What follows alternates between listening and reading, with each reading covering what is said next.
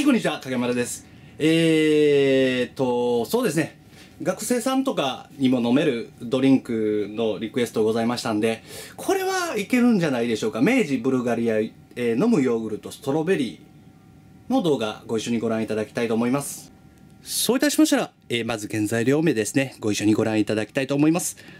ここ、えー乳製品、砂糖、いちご果汁、安定剤、香料、甘味料、いっぱい入ってますね、甘味料。えーあとは、紫芋色素ですね。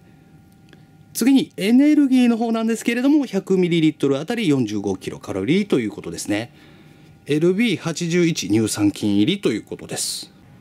はいこちらが中身になるんですけれどもあんまりいちごヨーグルト的な感じもしないです。ほんのりピンク色しているでしょうか。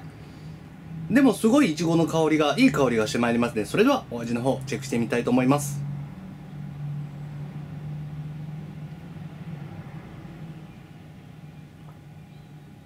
うまい。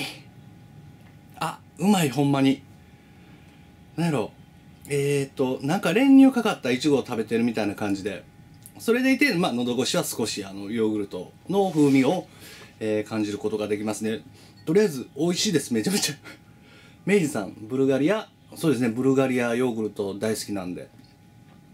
それに、えーそうですねいちごうんいちごというより練乳みたいな感じがしますよね。それでいて臭くなくてさっぱり美味しいっていう感じでめちゃめちゃ美味しいです。ちょっともう一回チェックしてみます。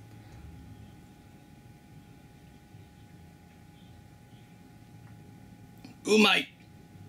なんかですねすんごい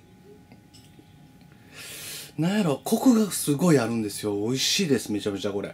えっ、と皆さんいけると思います。めっちゃ美味しいです。セブンイレブンセブンイレブンさんの方で購入いたしました。ちょっと噛んでしまいました。すいません。それでは簡単なんですが失礼させていただきたいと思います。